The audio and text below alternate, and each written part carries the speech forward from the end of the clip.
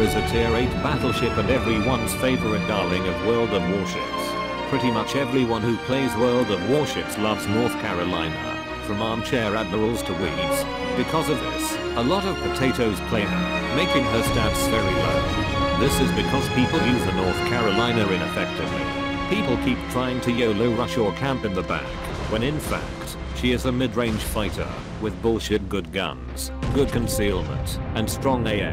The North Carolina has the best guns at its tier. When compared with her peers, the Amagi has more guns, the Richelieu has all forward-facing guns, and the Roma gets faster shell speed.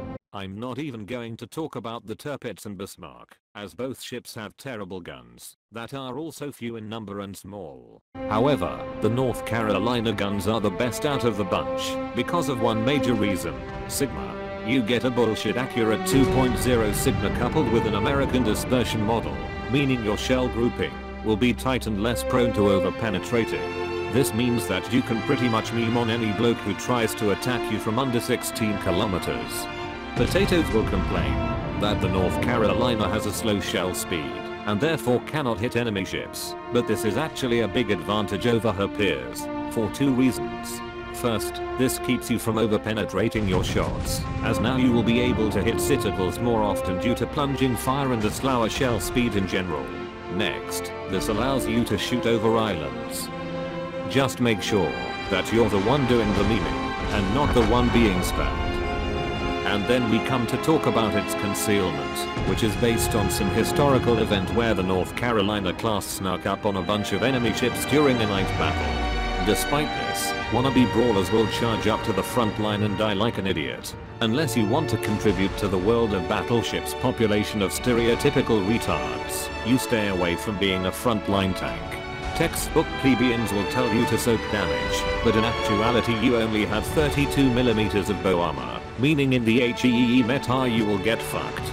In addition, you have a weak belt, meaning that any attempts to brawl will lead to you dying quickly.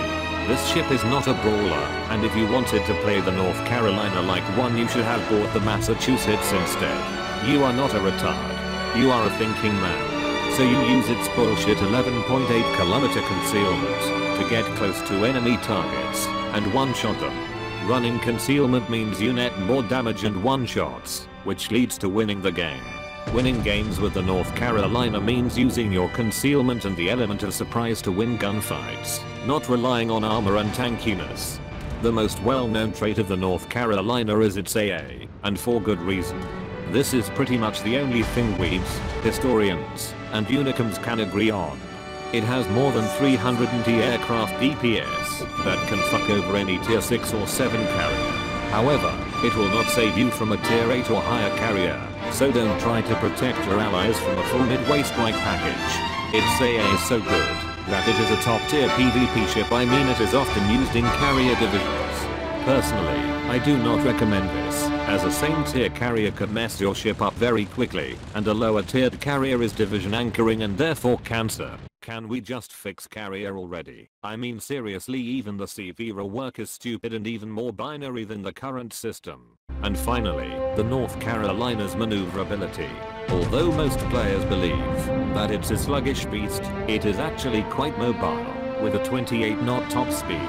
For its range that it should fight at, the North Carolina is perfectly capable of moving at a decent pace. The North Carolina is an anti-everything ship, with good guns for all occasions. If you get lucky, you can even be BAP enemy destroyers. Just try not to eat too many torpedoes.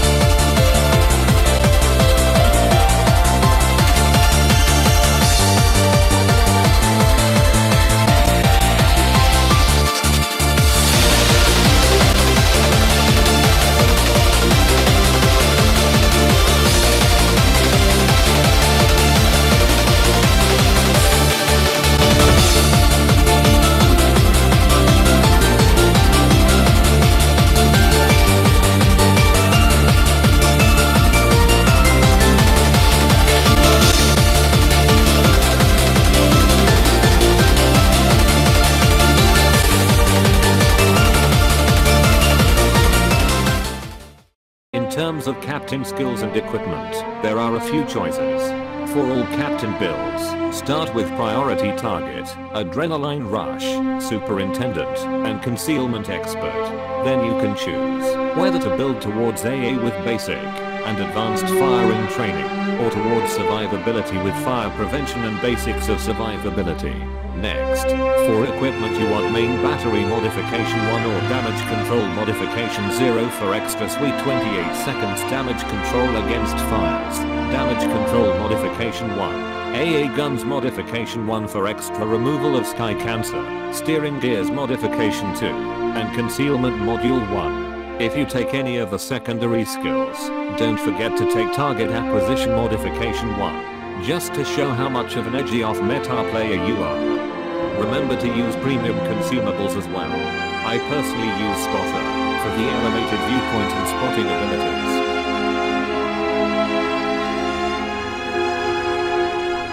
This is the correct way to play the North Carolina, and all battleships for that matter. Now go out there and wreck some puny scrubs who still believe that battleships are frontline tanks.